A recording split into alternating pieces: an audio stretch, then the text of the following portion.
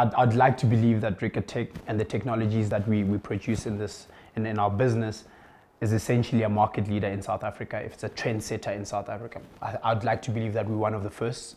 Um, back in 2013, no one was talking about the fourth industrial revolution. No one was talking about IoT, but we were. So Ricatech is an information management system.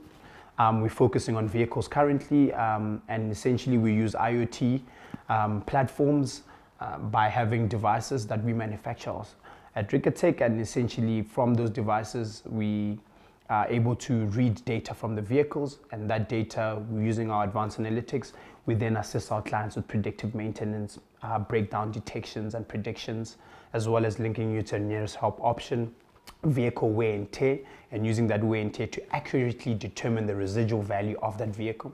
Uh, we receive data from the vehicle every second and every five seconds we execute. So it's pretty much real-time data. The information can be used across the board. It can be used by insurer. If the insurer is trying to adjust premiums, if the insurer is trying to assess the risk of a driver, um, if the insurer is trying to give benefits with, with regards to the actual vehicle owner, we're able to tell you what's wrong with your vehicle before you even know what's wrong with your vehicle. Um, from a fleet management perspective, we're able to assist them with um, you know fuel levels, uh, fuel consumptions, um, fuel efficiencies. Um, we're able to assist them in terms of what vehicles to actually purchase within their fleet um, based on the environment of the fleet because we have a machine learning algorithm that essentially um, calculates the wear and tear of your vehicle based on the environment, road conditions, weather conditions. So again, it's such a big data space. Um, and the new buzzword is data is the new oil. Data is the new oil because what data is is simply a mechanism for decision making. If you have data, you can make better informed decisions.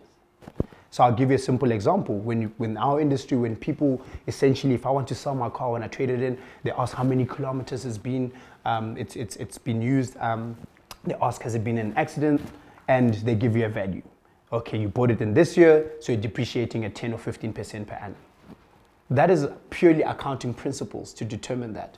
It does not take into consideration how I've been treating my vehicle, how I've been driving my vehicle, um, how many service intervals, etc. All of these kind of things. Where with us at Ricatech, because we are monitoring every second that ignition is on, the health of the vehicle, the driving, you are able to have a better and more accurate figure for how much your vehicle is worth. And the residual values have always been there, but now they're more accurate because data has informed it. And that's what it is, right? That, that's, what, did, that's why it's so powerful.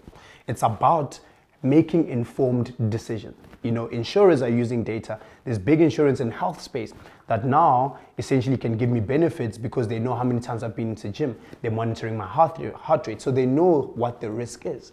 And essentially what data does for these industries, it's a risk mitigator, asset risk mitigator. And that's what it is.